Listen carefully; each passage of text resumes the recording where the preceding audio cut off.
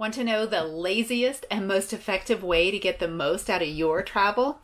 I share my tips along with my Oregon adventures, and I did it again. I messed up my truck.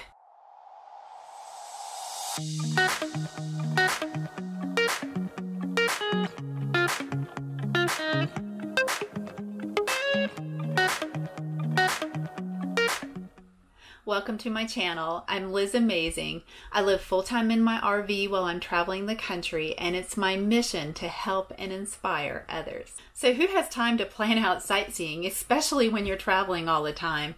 I sure don't. I can't wait to share with you my super lazy tips. But first of all, what happened with my truck? Now, some of you know that my camper hit the back window the day I took my brand new camper off the lot at the dealership. That was because one of the techs at the dealership said there's no way that could happen. There's no way that the front corner could hit the window. Well, I learned from that was that I absolutely need to see for myself and just not trust what someone tells me. I should have been watching the trailer. That window never would have broken. But thank goodness for insurance, right? So now I have this new damage. I could not believe this and I couldn't figure out how I did it. I actually had to ask somebody. So when you look at this damage, can you tell what I did? I'm going to give you a little bit of time to ponder it and I'm going to get back to that later and tell you exactly what I did. You won't believe it. So let's talk about Oregon. I am so in love. I was there for a month and I cannot wait to go back. I spent about 10 days on the coast and the rest on the interior. I think Oregon is the country's best kept secret. It just has so much natural beauty.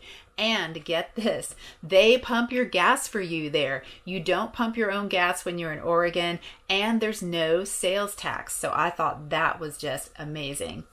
I stayed uh, on the coast right there. It was beautiful. And let me tell you what is so amazing about the beaches in Oregon is that mountains and beaches are together. I just could not get over that. If you're a mountain person married to a beach person, this is where you want to go. So much natural beauty, and the temperatures are mild.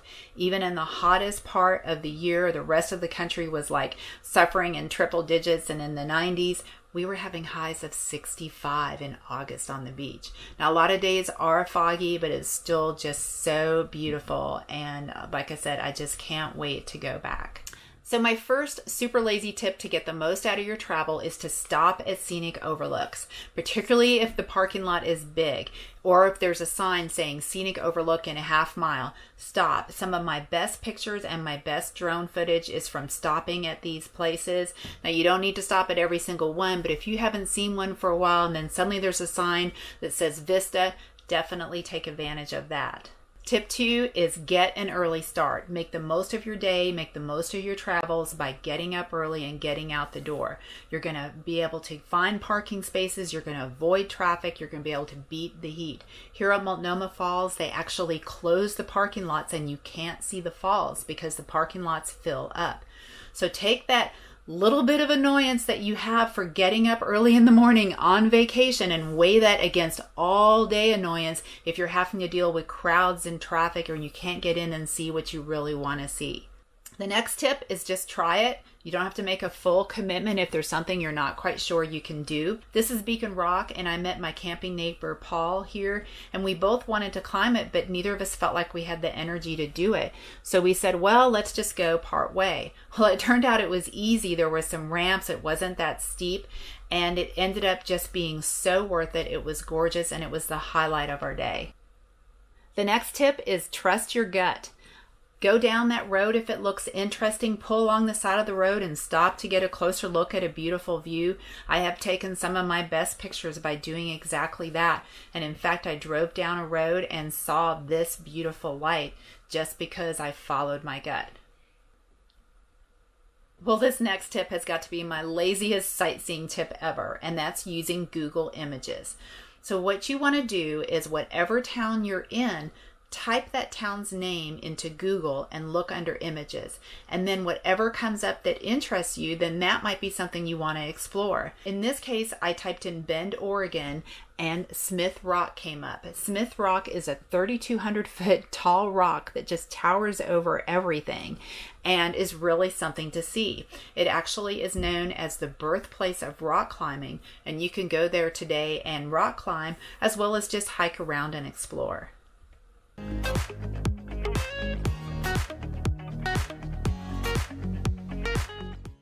My next lazy tip is just ask your fellow travelers what they recommend that you go see. So this could be a fellow hotel guest or in my case my campground neighbor. He recommended that I go to Paulina Point. Let me know that I'm pronouncing it right. It's spelled Paulina, but I believe it's pronounced Paulina. So you have to drive four miles on this washboard gravel road, and you don't have to have four wheel drive, but you just can't go fast. And if you are a white knuckle passenger, you may not want to look out your window because there's definitely some drop offs on the way up. If you can, definitely look out and enjoy the view. It is really pretty as you go up. Or you could be hardcore and you could bike up. I cannot believe these guys did, but the payoff on the top is worth it. You're standing on top of a volcano and you are enjoying just a fabulous view.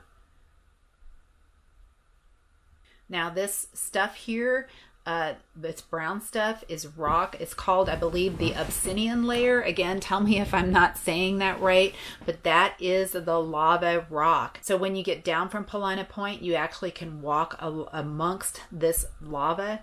You can actually walk on the lava flow. And speaking of lava, so much of this area has this red lava rock. I'm used to seeing that in nurseries to use as mulch. It's so crazy to see this naturally all over the ground. My next lazy tip is just ask the locals where to go. So when I got my haircut, my hairstylist said, Oh, you've got to do the Cascade Scenic Highway. Well, that's 210 miles. But she said, look, you just want to do this one section and go to this certain lake called Cultus Lake. And it was just so gorgeous. I mean, you could definitely do the all day drive, but 210 miles was more than I wanted to do. So I was able to find just the highlights. And it wasn't just lakes, there's lots of great scenery there too. The next tip is the big stuff is most likely worth the drive if you are traveling and you're really far from home and you don't feel like that you're going to be in the area again and there is a big marquee attraction, maybe it's an hour and a half, two hours from you, go do it. You'll be sad when you get home and you realize that you were that close and you missed out. So here Mango and I are driving a couple hours to go see something. And oh, here's a mini tip right here that I'm just going to throw in. Here's a bonus tip. Eat local. So I'm in cherry country, so I'm buying cherries and it's a it's a really great way to enrich your travel is to make sure that you eat local you go to restaurants and just really enjoy the local food. So we are headed to crater lake national park and the reason we're going is number one i'm on a quest to see all the national parks but number two everyone that i had talked to that had been to crater lake told me about the same thing and they said i cried when i saw it. It was just so beautiful. I just started tearing up. And i was like oh my gosh i gotta go see it so, Crater Lake is the deepest lake in the country and it's completely naturally fed by snow melt and rain.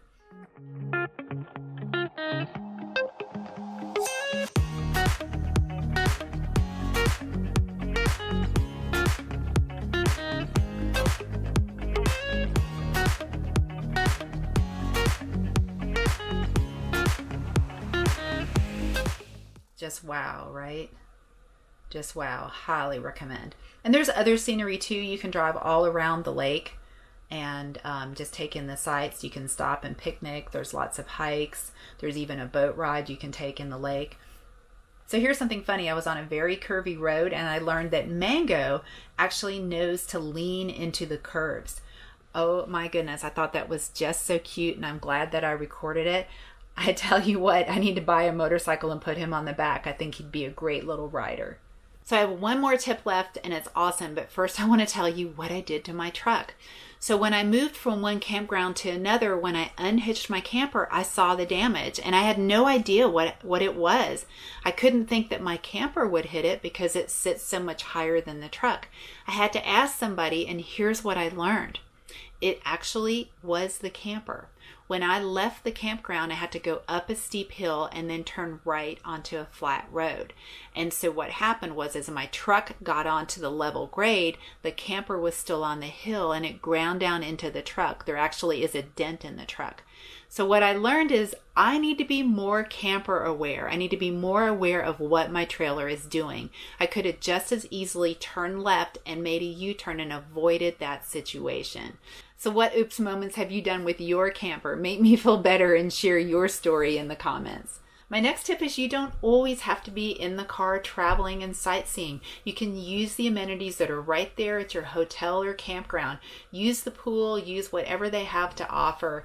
At this campground, they have a lazy river where they actually pick you up an hour later and you can just go tubing. This isn't something I ordinarily will do, but because they offered it, I went ahead and did it and it was a highlight. I had so much fun.